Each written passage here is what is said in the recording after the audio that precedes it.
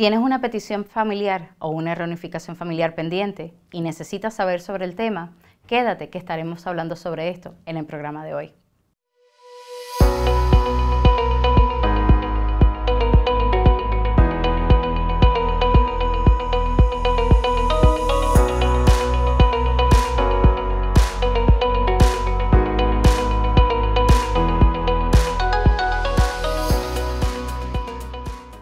Hola, soy Nati. Le damos la bienvenida a nuestro programa semanal Legal en USA.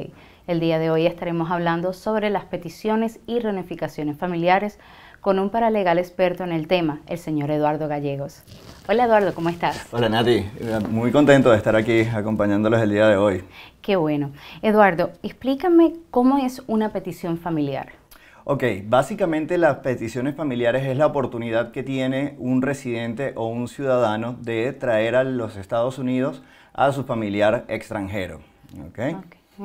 ¿Hay alguna diferencia entre una petición y una reunificación familiar? Sí, por supuesto. Eh, empecemos de la premisa de que eh, la reunificación familiar parte de una petición familiar. Eh, los ciudadanos y residentes para iniciar un proceso de reunificación familiar que está destinado a ciertos países en específicos, no es para todos los familiares de residentes o ciudadanos. Tienen que hacer un formulario, tienen que eh, someter un formulario I-130 ante el Servicio de Inmigración. Una vez que este formulario I-130 es aprobado, el Servicio de Inmigración enviará cartas de invitación a participar en el programa de reunificación familiar para todas aquellas personas que cumplan con los requisitos establecidos por el Servicio de Inmigración y que por supuesto pertenezcan a estos países que están destinados o están designados por parte del Servicio de Inmigración. ¿Cuáles son los países que están destinados para una En este momento, inicialmente, históricamente, el país que era designado para la reunificación familiar era Cuba, por su precedente y por la necesidad de eh, compensar un poco lo que la dictadura de ese país había hecho en separar las familias y posteriormente en este año se extendió a Honduras, El Salvador y el último país que fue designado para este programa fue Ecuador. Oh, wow, interesante. Este, ¿Qué tiene que tener una persona o qué tipos de personas pueden hacer ese tipo de petición? Ok, inicialmente lo que requiere el programa de reunificación familiar es, como ya hablamos, un formulario I-130 aprobado y en segundo lugar que no haya una visa disponible para la categoría bajo la cual se va a beneficiar la persona que viene. ¿Cómo es esto? Que, vamos a entrar un poquito en contexto. El Departamento de Estado otorga cierta cantidad de visas anuales para diferentes categorías de peticiones familiares. ¿Qué va a influir en esto? Inicialmente, ¿quién es el peticionario? ¿Qué estatus tiene el peticionario? Sea residente o sea ciudadano. Y posteriormente, ¿quién es el beneficiario? digamos, esposos, hijos menores, hijos mayores, padres. Básicamente, uh, las personas eh, teniendo el formulario I-130 aprobado, posteriormente tiene que calificar no teniendo una visa disponible en el Departamento de Estado bajo esta cantidad de visas que otorga el Departamento de Estado para cada una de las categorías. Posteriormente, tiene que cumplir con el requisito de ser elegible para una visa de inmigrante.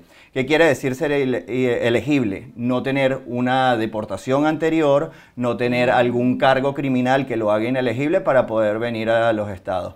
Y lo que quiere hacer el programa de reunificación familiar es lograr que estas personas no tengan que esperar la disponibilidad de una visa y puedan venir anticipadamente, a los Estados Unidos. Oh, perfecto. Ok, cuando estamos hablando de peticiones, ok, si el, la persona que lo está pidiendo quiere saber más o menos cuánto tiempo puede tardar un proceso de esos, o sea, cuánto sería el plazo que UCIS tomaría para que te diera eh, la decisión de ese proceso. Perfecto, es muy importante eh, tener en cuenta que son dos tiempos. Eh, tenemos que evaluar dos tiempos. El primero, cuando se somete el formulario I-130 con UCIS, ese tiempo va regido por el ritmo de trabajo que tienen las oficinas locales del Servicio de Inmigración. Posteriormente, que es aprobado el formulario I-130, tenemos una herramienta que es el Visa Boletín. En el Visa Boletín nos va a indicar en qué año... Eh, es importante también saber que una vez que uno somete una petición familiar y el Servicio de Inmigración la recibe, ahí vamos a dejar sentado lo que es una fecha de prioridad. Esta fecha de prioridad es la que va a manejar el Departamento de Estado en el boletín de visas para saber qué, en qué peticiones está trabajando para llevar a un proceso consular y posteriormente una residencia de esta persona. Entonces, ¿qué pasa? Hay dos tiempos de procesamiento, el de UCIS, que lo vamos a ver en los tiempos de procesamiento en la página, en el sitio web del Servicio de Inmigración, y posteriormente a la aprobación del formulario I-130, nos vamos a guiar por el boletín de visas publicado todos los meses por el Departamento de Estado. Perfecto. Ok. Cuando vamos a hablar también de las reunificaciones familiares, eh, la persona obviamente está fuera del país, hacen la petición, es aprobado. Ese, esas personas que están afuera tienen que hacer algún tipo de proceso cuando hacen esa reunificación para poder entrar al país? Ok, eh, sí, es muy interesante tu pregunta. ¿Por qué? Porque anteriormente el programa de reunificación familiar ameritaba que una vez que al peticionario le llegase la carta de invitación para participar en este programa, sometiera un formulario I-131 o permiso de viaje eh, para solicitar un parol para su familiar en, el país designado. Eh, posterior a la aprobación por el Servicio de Inmigración, por UCIS, de este formulario I-131, el, el, beneficiario de esta petición tenía que acudir a la embajada en su país para llevar a una entrevista que se constatase su elegibilidad. Y previo a un, a un, chequeo de seguridad y un examen médico, el cónsul eh, otorgaba este parol para que la persona viniera. A partir del 11 de agosto de este año, el programa de reunificación familiar fue reestructurado y modernizado.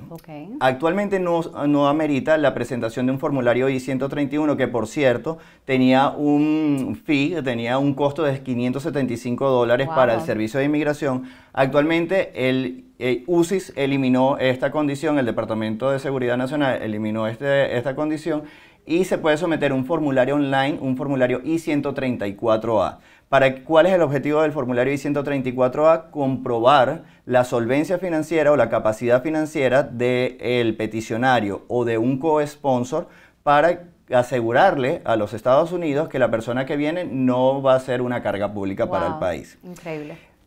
En el nuevo programa no es necesario tampoco ir a una entrevista en la embajada con un funcionario consular, sino que simplemente eh, se va a llevar un chequeo de seguridad, todo se maneja de forma electrónica y lo único que tendría que hacer este beneficiario es crear una cuenta en el CBP One, eh, colocar todos sus datos, hacer un chequeo médico y posteriormente va a recibir en su cuenta de CBP One una autorización de viaje que con esa va a poder llegar al puerto de entrada y en el puerto de entrada es el oficial de Customs and Border Protection quien va a determinar si la persona amerita o no la discreción positiva para poder entrar a los Estados oh, Unidos. Interesante. Ok, si la persona tiene un parol, entró a este país con un parol o tiene un TPS aprobado, ¿esa persona puede ajustar estatus bajo una petición familiar? Ok, hay que, hay que, esto tiene varias aristas, ¿ok?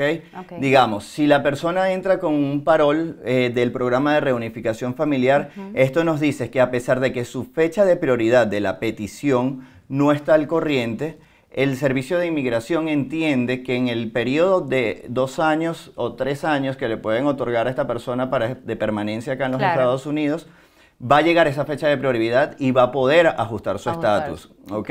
¿Qué pasa? Eh, si la fecha de prioridad no está al corriente, digamos una persona que entra eh, con un parol, pero en el tiempo de permanencia está acá y no llega a esa fecha de prioridad, no es viable que ajuste su estatus porque no va a haber una visa, va a seguir sin haber una visa disponible. Eh, ahora, en cuanto al TPS, las personas beneficiarias de TPS tienen una gran ventaja que a pesar de que en algún momento hayan acumulado eh, cierta presencia ilegal que los haga inelegibles para poder obtener su residencia dentro de los Estados Unidos, tienen la oportunidad que le da el Servicio de Inmigración de solicitar un Advance Parole, que es un permiso de, reentrada. Ellos van a poder viajar salir del país y van a tener una nueva entrada legal y una I-94 vigente mediante la cual si hay que, tomar, hay que estar bien, bien conscientes que si la fecha de prioridad de su petición familiar está al corriente, va a poder ajustar su estatus y solicitar su residencia aquí en los Estados Unidos. Eso, Muy interesante eso. Ok, las personas también cuando obviamente ya ganaron la petición, la petición fue aprobada, ¿qué viene después de eso?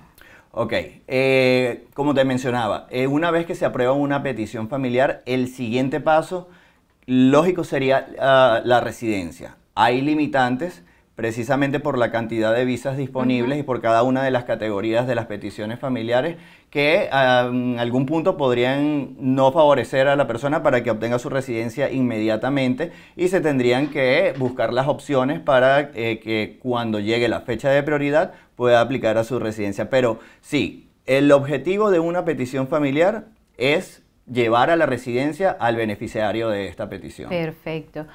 Para una petición, ¿puede aplicar cualquier país? Para las peticiones familiares sí, la única condición es que haya un residente o un ciudadano que vaya a pedir a un familiar que es elegible bajo ciertas categorías. Ahora, para la reunificación familiar solamente son los países que conversamos anteriormente. Honduras, El Salvador, eh, Cuba y eh, recientemente eh, Ecuador. Oh, perfecto. Ok, una persona que es residente y la otra es ciudadano americano hacen una petición. ¿Cuál es la diferencia entre ellos dos? Ok, básicamente tiempos de procesamiento y eh, también a quién pueden pedir. Ok, tenemos que un ciudadano tiene el privilegio de poder pedir a sus padres, cosa que un residente no puede y también a un hijo mayor de edad casado. ¿okay? Son categorías. En cuanto al residente, tiene la posibilidad de pedir a sus esposos e hijos menores de edad, incluso hijos mayores de edad, pero que eh, permanezcan solteros para el momento de la petición y durante todo el proceso. Es bien importante estar claros que si se, un residente pide a un hijo mayor de edad y en el proceso de que esta persona se haga residente, se casa, Lamentablemente esa petición queda descartada y va a tener que buscar otra forma o el peticionario hacerse ciudadano o buscar otra forma de venir acá a los Estados Unidos. Ok, la, regresemos a lo de las reunificaciones familiares. Si una persona ya tuvo una aprobación y estamos hablando en el tiempo que estuvo la embajada en Cuba cerrado, ¿qué pasa con esas reunificaciones familiares? Perfecto. Bueno, sí, efectivamente muchas personas en el entre 2016 y 2017 ya habían sometido su formulario I-131 solicitando el parol y habían sido aprobados. Pero lamentablemente como este proceso implicaba una entrevista en la embajada para venir a través de este programa de reunificación familiar, al cerrar la embajada en La Habana, todas estas procesos de reunificación familiar quedaron ciertamente en el aire. Eh, nadie, nadie le daba respuesta, fue suspendido temporalmente este programa. ¿Qué pasa? Con la reactivación del programa de reunificación familiar y la reestructuración y modernización de este programa, el Servicio de Inmigración a todas estas personas que quedaron en algún, eh, durante muchos años en el aire, les, les, está enviando una carta donde les da la opción, eh, el, el Homeland Security le dice, ¿usted qué quiere? ¿Usted quiere continuar su proceso con el formulario I-131 en el cual ya usted tenía aprobado, o si por el contrario desea continuar eh, por la nueva vertiente que sería a través del I-134A. ¿Cuáles son las diferencias entre, estos dos, entre estas dos figuras? Lo que conversábamos, el I-131 tiene un arancel de 575 dólares, el formulario I-134A es, gratuito, se, forma, se llena de forma online. Claro. Y, e incluso puede ocurrir que una persona que haya sido invitada para el programa de reunificación familiar, en el proceso que se, en, el medio del proceso, le llegue la fecha de prioridad a su petición familiar y tenga la posibilidad de venir o por el programa de reunificación familiar o por el proceso consular común. Ahí hay varias cosas que hay que evaluar, ¿ok? Ya queda, ya es a discreción tanto del peticionario del beneficiario, que es lo que desean hacer. ¿Por qué? Porque el programa de reunificación familiar es una admisión a los Estados Unidos que en el caso de los cubanos, solamente de los cubanos, va a darles la posibilidad al año y un día de obtener su residencia permanente, oh, Eh, por otro lado, ahí como lo que conversábamos, si la persona llega a los Estados Unidos bajo el programa de reunificación familiar y en ese interín no hay una visa disponible y no puede aplicar a su residencia estando dentro de los Estados Unidos, tendría que salir nuevamente. Y la diferencia, que estas personas que entran con este parol tienen que hacer un proceso adicional con el servicio de inmigración para solicitar su residencia acá adentro. Ahora, si uno espera, decide esperar el proceso consular, ¿ok? que no sabemos cuánto tiempo pueda tardarse en agendar una entrevista, el beneficio sí sería que esa persona va a entrar con una visa de inmigrante, que es una residencia permanente. Ya una vez sea aprobada su visa de inmigrante, la persona tiene que hacer un pago electrónico de 220 dólares y una vez que entra aquí a los Estados Unidos, al cabo de no más tardar de 120 días, ya debe tener en el buzón de su casa su tarjeta de residencia. Su tarjeta de residencia, wow. ok, tengo una duda. Cuando una persona entra ilegal, o sea, por la frontera, y se casa con un residente o ciudadano americano y deciden someter una petición, ¿el proceso de ellos sería igual o completamente diferente? Ok, el proceso en ese caso iniciaría igual, como una, una petición familiar, un formulario I-130. Va a diferenciarse en el punto de la aprobación del formulario I-130. ¿Por qué? Porque esta persona va a meritar pedir una exoneración, un perdón al servicio de inmigración por esa entrada ilegal y cualquier tiempo de, presencia ilegal que haya acumulado en los Estados Unidos. Entonces, digamos que de alguna manera el proceso consular se tiene que ir postergando hasta obtener lo que sería la, eh, aprobación del perdón. Y, es, bien importante también mencionar que esta persona que entró de forma ilegal, por lo menos hasta ahora que la regulación migratoria no ha cambiado, necesariamente tiene que salir de los Estados Unidos a tomar su residencia en la embajada por la vía consular. Es una de las condiciones. Entonces, una vez que aprueban este perdón, se completaría los seis pasos del proceso consular y una vez que se agende la entrevista en la embajada, este beneficiario saldría y volvería a entrar una vez aprobada su visa ya en la condición y en la calidad de residente permanente. ¿Cuánto tiempo más o menos tiene que pasar la persona fuera del país para que pueda volver a entrar con ese tipo de proceso? Ok, esto va a depender eh, inicialmente de las embajadas. Eh, los tiempos de procesamiento en cada una de las embajadas de los Estados Unidos en los diferentes países son distintos. Segundo, va a depender también si, la si en la entrevista a la persona le faltó algún documento que tiene que ser consignado o es solicitado por el oficial consular posterior a la entrevista. Pero si todo va como debe ser, no hay dilaciones y, y yo por experiencia son no más de tres semanas que debe permanecer la persona fuera. Es un tiempo bastante corto, no es, bastante largo. Y, hablamos de tres semanas porque hay que tomar en consideración que antes de la entrevista este beneficiario tiene que hacerse un chequeo médico que por lo general eh, tiene que ser eh, un tiempo prudencial, por lo menos cinco días antes de su entrevista en la embajada para cumplir con los requisitos para su residencia permanente. Entonces, contemos que la persona sale, hace su chequeo médico una semana antes de su fecha de entrevista, atiende a su entrevista y luego de que atiende a su entrevista vamos a dar un plazo de dos semanas para tener ya su pasaporte con el visado de inmigrante. Y puede entrar y entonces... Una vez que la persona tiene su pasaporte en mano con el visado de inmigrante, puede venir en cualquier momento a los Estados Unidos.